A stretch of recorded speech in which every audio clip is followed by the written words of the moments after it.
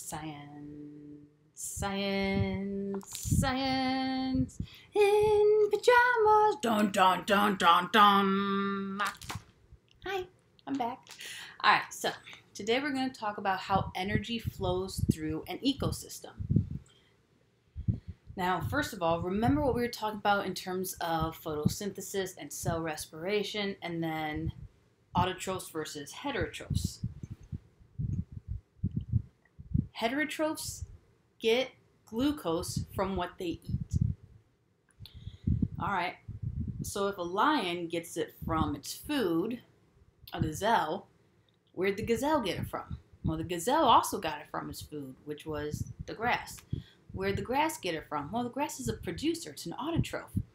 So the autotroph gets it via either chemosynthesis or more typically photosynthesis.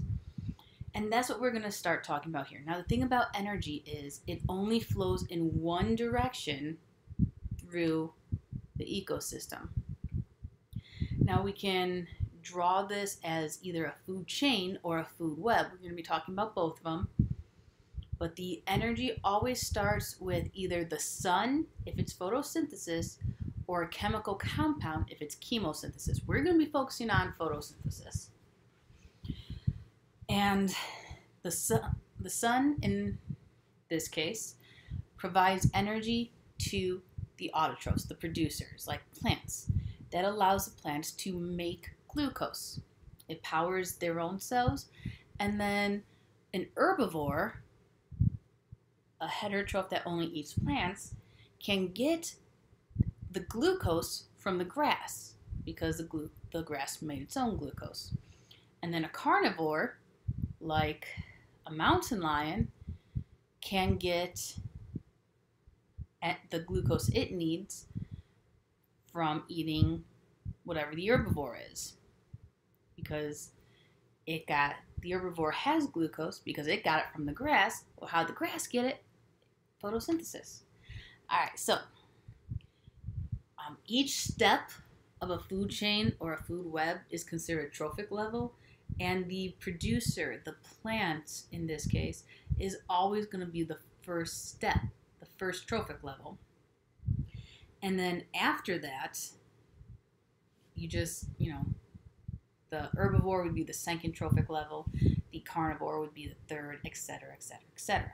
And we're going to start taking a look at this. We're going to do some examples of food chains and food webs, and we're going to be looking at the trophic levels as well. Now, the thing though, thing that is important to remember is we get energy from food, which means that whichever trophic level you are on, your energy source is dependent on the trophic level beneath you, which will make sense as we talk about it. All right, so let's keep going, shall we? Let's start with the food chain. A food chain is just a single pathway that the energy takes in an ecosystem. So, for instance, this is a food chain. The sun allows the grass to do photosynthesis. The grass gets eaten by the deer. That means that the glucose is being passed on to the deer. The deer is getting glucose from the grass, it is getting energy from the grass. So you can think of the arrow as showing the flow of energy. It goes from the grass to the deer. The deer gains energy when it eats the grass. And then the wolf eats the deer. So the wolf gets energy by eating the deer. So notice how it's just simply one pathway from the grass to the deer to the wolf. That's what we mean by a food chain. So this is a food chain. Now, in terms of trophic level, the producer is always the first trophic level. Whatever eats, in this case, the grass, whatever eats the grass is the second trophic level. We can also think of it as a primary consumer because it's the first consumer. So, second trophic level, trophic level. This is a producer. This is a primary consumer. So the grass is the first trophic level. The deer is the second trophic level because it's directly after the grass. That means the wolf is the third trophic level because it's directly after the second one. Now, in terms of names, like how we classify the consumers, remember we said the first trophic level is always the producers, the photosynthetic organism. The primary consumer means the first consumer. So it's the first thing that is eating. Well, what's the first thing that's eating? Our herbivore. Our herbivore is a primary consumer because it's going to eat the producer. The wolf would then be a secondary consumer because it's the second thing that's doing the eating. It eats the deer, which ate the grass. All right. So that's a food chain. Now let's bump it up a little bit. Let's make it a little more complex because in nature, in real ecosystems, you're not just going to see one chain like that. You're going to actually see food webs. And what food webs are, they're all the possible ways energy can move through an ecosystem. So, in other words, it's interconnected um, food chains. So, here we have the sun. This is an example of a food web. And you're going to see how it interconnects. So, here we have the sun. Now, we have two producers we have the grass slash seeds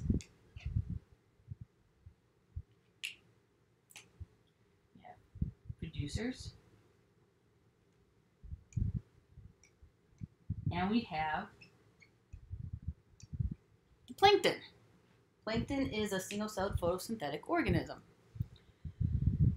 Now, let's start with the grass and seeds. All right, well, what can eat the grass and seeds? Well, the grasshopper can eat the grass and seeds. So energy will go from the grass to the grasshopper. What else can eat the grass and seeds? Well, the mouse can. We're going to draw a line there as well. And this is starting to fade a little bit.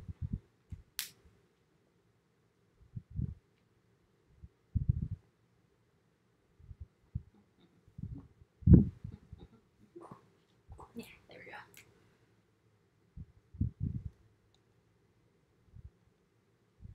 So the grasshopper can eat the grass.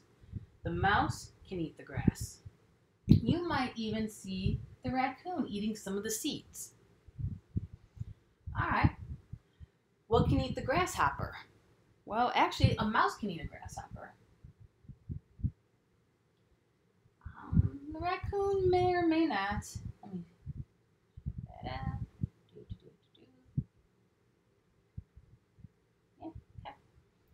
And even the yeah, sorry, even the raccoon can eat a grasshopper. All right. Well, what can eat a mouse? Oh, glad you asked. The owl can eat the mouse. All right. And the raccoon might eat a mouse on occasion as well. All right. What eats the raccoon? Well, the owl can. Nice. All right. Now let's come over here to our other producer and start down here with the plankton. Oh, what can eat the plankton? A fish can eat the plankton. And what can eat the fish? Well, the crawfish can eat the fish, and the raccoon can also eat the fish. All right. And then what can eat the crawfish? Raccoon can eat the crawfish. And then the owl, once again, can eat the raccoon. Now notice how this looks. There's a lot going on here. So let's, I'm not going to fill out everything on here, but we are going to talk a little bit about it. In terms of trophic level, the plankton is the first trophic level, as well as the grass. They are the first trophic level in different scenarios. So we can go from the plankton to the fish, which would then make the fish the second trophic level, to the raccoon, which would make the raccoon the third trophic level, to the owl, which would make the owl the fourth trophic level. Or we can go first plankton, second fish, third crawfish, fourth raccoon, and the fifth trophic level would be the owl. You come over here with the grass and the seeds. They're the first trophic level. Grasshopper would be the second. Then the mouse would be the third. Then the owl would be the fourth trophic level. Or we can go first trophic level grass, second trophic level grasshopper, third trophic level mouse, fourth trophic level raccoon, fifth trophic level owl. Okay, then we can also go first trophic level grass, second trophic level grasshopper, third trophic level raccoon, fourth trophic level owl. Or we can go first trophic level grass, second trophic level mouse, third trophic level owl. Or first trophic level grass, following this arrow, second trophic level mouse, third trophic level owl, fourth, or sorry, raccoon, fifth. Let me try this again. First trophic level grass, second trophic level mouse, third trophic level raccoon, fourth trophic level owl. Or first trophic level grass, second trophic level raccoon, third trophic level owl. So notice how we ran through that, and depending on which of those food chains within this food web we're looking at, that'll also affect which consumer, like how we label as a primary, secondary, tertiary consumer. So these this is always a producer. We follow this way: producer, primary consumer, secondary consumer, quaternary consumer, and I'm not quite sure what the fifth level consumer would be. So producer, primary consumer, secondary consumer, tertiary consumer. Alright, that's right. I miscounted before. So it'd be primary consumer, secondary consumer, tertiary consumer, and quaternary, the fourth. I forgot about fourth. Fourth level consumer. Alright. Let's see. So producer, primary consumer, secondary consumer, producer, primary consumer, secondary consumer, producer, primary consumer, secondary consumer, tertiary consumer, producer, primary consumer, secondary consumer, tertiary consumer, producer, primary consumer, secondary consumer, tertiary consumer, quaternary consumer, and producer, primary consumer, secondary consumer, tertiary consumer.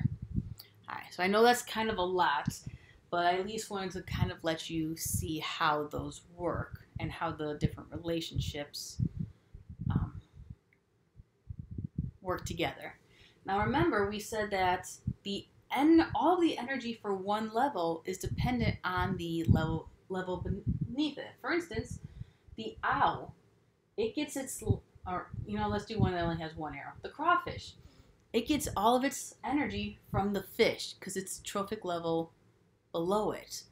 We have the first trophic level, second trophic level, third trophic level. The crawfish gets all of its energy from this, which makes sense. What other food sources does it have? None. It only eats the fish. So that means just like how we get energy from the food we eat, it's the same thing here. The all of the energy that the crawfish get come from the fish. So that's what we mean by the energy of one trophic level is dependent on the one beneath it. All right.